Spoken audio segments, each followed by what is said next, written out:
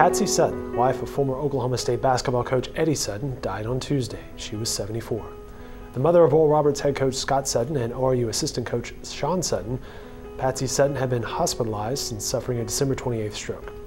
Our partners at the Tulsa World report a statement was released by oldest son Steve saying, quote, The Sutton family would like to thank everyone for the prayers and thoughts that have surrounded and have been given to us the last days we have been at St. Francis Hospital. We have lost a wonderful and cherished wife, mother, mother-in-law, friend, and our honey. Thank you again for the outpouring of support you have given our family. A Stillwater native, Patsy met her future husband at Oklahoma State, where they graduated.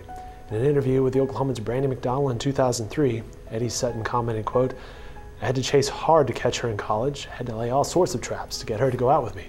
Good thing I could run fast and was patient.